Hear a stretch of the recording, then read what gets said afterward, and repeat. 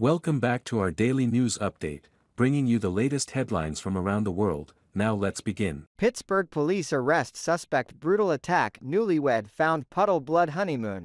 41-year-old Larry Gilmore, a father of three, was transported to a hospital in critical condition. Pittsburgh police have arrested a man for the alleged brutal assault of a newlywed on his honeymoon earlier this week. Heiko Lamar Calhoun, 26, of Wilkinsburg, was arrested on charges of criminal attempted homicide, aggravated assault, robbery, and recklessly endangering another person.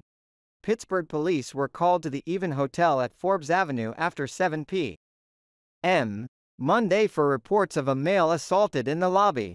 The victim, 41-year-old Larry Gilmore, was found unresponsive and bleeding profusely from severe trauma to his head, police said. Medics transported him to UPMC Mercy Hospital in critical condition. Gilmore's wife Shalore, to whom he had just gotten married and is reportedly pregnant, told Channel 11 she had found her husband in a puddle of blood. Court documents cited by TribLive.com say the attacker walked up to Gilmore from behind and put him in a chokehold before slamming his head into the ground. The suspect allegedly kicked and stomped Gilmore and took several items including his pants. Calhoun, who is homeless, was arraigned Tuesday morning and remains in custody at the Allegheny County Jail.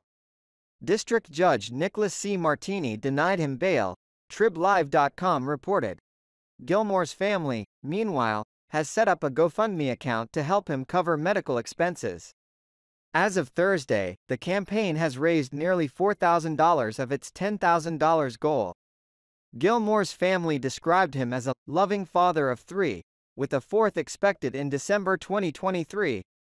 Calhoun's preliminary hearing is scheduled for Monday, August 7. Fox News Digital has reached out to the hotel for comment, but has not yet heard back. Subscribe to my YouTube news channel now. Providing accurate and reliable information on the latest hot events. Join the community for exchanging opinions and learning from each other. Hit the subscribe button and turn on notifications to never miss out on the latest videos. Let's explore the world of information together.